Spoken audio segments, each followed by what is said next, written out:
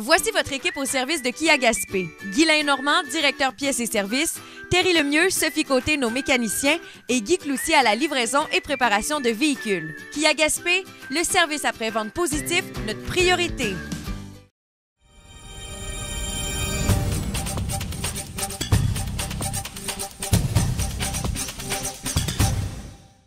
Madame Roussy, euh, vous avez reçu, vous avez rencontré hier le chef du Parti québécois, Jean-François Lisée. Qu'est-ce que vous retenez de cette visite?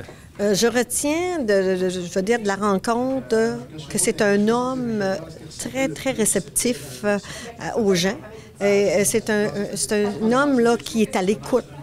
Euh, puis, il nous, il nous disait qu'est-ce qu'il pourrait faire là, euh, pour l'avenir. là. Je pense juste, je l'écoutais même à la radio, qui disait là, euh, qu'il allait aller sans nécessairement d'une façon euh, que tout le monde ait la, même façon de penser, la même façon de faire.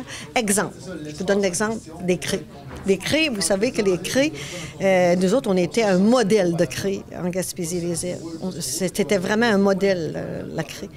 Mais ailleurs, il y a des gens qui n'en voulaient pas de craies parce qu'ils n'ont pas le même besoin, qu'ils ne voulaient pas de CLD. Mais nous autres, quand on a perdu la craie, on a eu énormément de peine parce qu'on savait que c'est un milieu de, de concertation extraordinaire.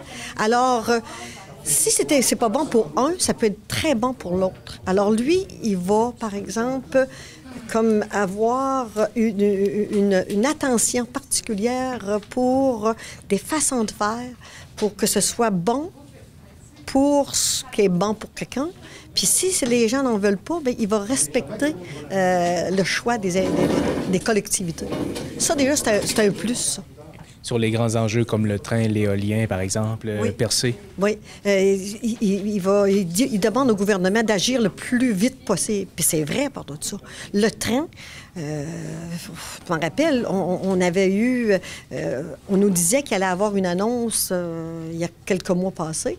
Puis là, on, a fait des, représentations pour que le train se rende jusqu'à Gaspé, le train de marchandises, parce qu'on sait que, par exemple, NM de la Suburban Wind Power, c'est-à-dire, a besoin du train pour euh, envoyer ses pales à l'extérieur. Euh, puis depuis ce temps-là, comme j'ai dit, c'est silence radio, t'attends plus rien. Ils ne disent plus rien. Ça fait qu'à un moment donné, j'ai dit, il faut que ça se fasse. Il faut que... Puis on est solidaire, la région, avec ça, parce qu'on a eu... euh, toute la, la- la région de la Gaspésie euh, est d'accord euh, pour qu'on ait le train jusqu'à Gaspé, le train de marchandises. Parce que si on commence à faire des bouts, ben on risque d'attendre longtemps. Mais moi, je pense pas qu'on a encore le temps d'attendre. Il faut absolument que ça se fasse. Justement, le fait que ça fait déjà cinq mois là, qu'on attend après le gouvernement, ça commence à être long? Ben moi, je trouve ça long. Euh, c'est vrai que c'est long, mais c'est parce que euh, il va falloir qu'à un moment donné qu'ils disent euh, les échéanciers, quand est-ce que ça va se faire? C'est eux autres qui sont propriétaires. Alors, à ce moment-là, il faut qu'ils donnent des réponses. Au niveau des rencontres émotionnalisées, bon, il est favorable à la plupart des revendications, mais il y a toujours le mais si je suis élu en 2018, et c'est peut-être ça un peu le petit problème d'être un chef de l'opposition. Oui, mais par contre, ça en prend de l'opposition. Vous savez, euh, un gouvernement qui est en place est majoritaire, c'est sûr, mais euh, si t'as pas d'opposition, tu peux faire n'importe quoi, là, tu sais. Mais ils sont là pour ça. L'opposition, moi, je dis, c'est sain d'avoir une bonne opposition. Dans tout, gouvernement, c'est très sain d'avoir une opposition. Puis je pense qu'ils font leur, font leur travail d'opposition. Euh, mais c'est sûr, c'est élu, ça veut, pour lui, ça va être mieux pour lui. Mais là, c'est toujours en 2018. On attend en 2018. Euh, Daniel Côté, qu'est-ce que vous retenez de la visite de Jean-François Lisée hier à, à Gaspé? Bon, écoutez, moi, c'est pas mal un, un des premiers contacts que j'ai eu avec cet homme-là. J'ai trouvé euh, très intéressant son discours. Euh, je pense qu'il a réussi, euh, même souvent on a la perception que, M. Lisée est un, Montréalais. Euh, on a bien compris qu'il venait d'une région, en fait, en- entre Québec et Montréal. Il vient de la région de Thetford Mines, qui, euh, je pense qu'il a, cœur, il a le cœur à bonne place. Il a bien saisi les enjeux de développement de la région. Euh, il y a eu la, discussion en grosse table, mais j'ai eu une belle petite discussion avec lui aussi, sol à sol, où on a parlé des enjeux de transport, des enjeux de démographie. Je pense qu'il a bien saisi les enjeux principaux qu'il y a chez nous. J'espère qu'il va faire son petit bonhomme de chemin avec ça à Québec. Euh, il y a toujours notre député euh, Gaétan Lelièvre qui est toujours derrière aussi, euh, qui est derrière son chef, puis qui pousse les dossiers aussi. Et euh, dans, le fond, nos enjeux sont bien connus, je pense qu'ils ont bien compris. Et d'avoir le chef de l'opposition officielle qui est au courant des enjeux, bien, ça peut juste donner un, bon coup de, pouce de plus pour la région. Il l'a- compris par lui-même, finalement, l'enjeu de la Gaspésie. Ben, je pense que oui. En fait, l'enjeu, à force de marteler, ça fait des années qu'on martèle euh, sensiblement les mêmes messages. Qu'on a des problématiques au niveau des transports, qu'on a des problématiques au niveau de la démographie, au niveau de l'attractivité de la main-d'œuvre. À force de marteler le message, à un moment donné, ça vient qu'à atteindre les oreilles aussi des décideurs euh, à Québec et, ailleurs. Donc, je pense que le, le chef du Parti québécois, M. Lisée, je pense qu'il avait bien compris ces messages-là. Donc, on les a remartelés une nouvelle fois. Il nous est arrivé un peu avec son plan de match aussi. Euh, c'est davantage au niveau du parti politique, là, le plan de match du parti politique à l'égard des régions, à l'égard de la Gaspésie. Donc, euh, il nous a partagé ça. Je pense qu'il y a bien des éléments là-dedans qui ont bien de l'allure, comme il y a des, des éléments qui ont bien de l'allure dans à peu près tous les partis politiques aussi. Quand Donc, il parle de décentralisation, c'est, j'imagine que ça sonne doux à vos oreilles?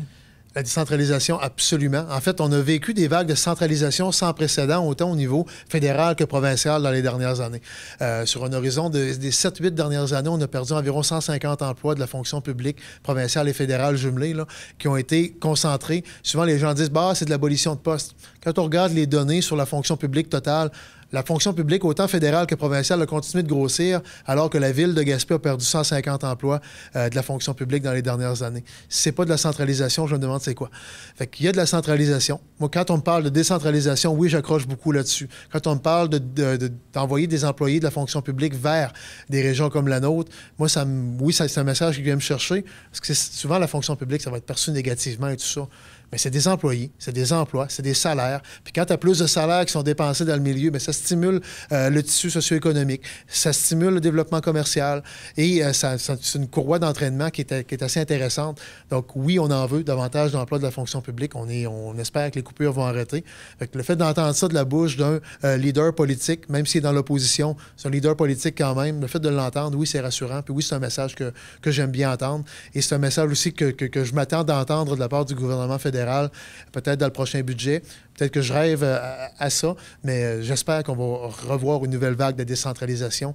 Les années Harper sont derrière nous au fédéral. C'est les années Trudeau maintenant. Et euh, Trudeau a à cœur, je pense, le développement des régions du Québec et du Canada. Et la décentralisation des emplois de la fonction publique en font partie également.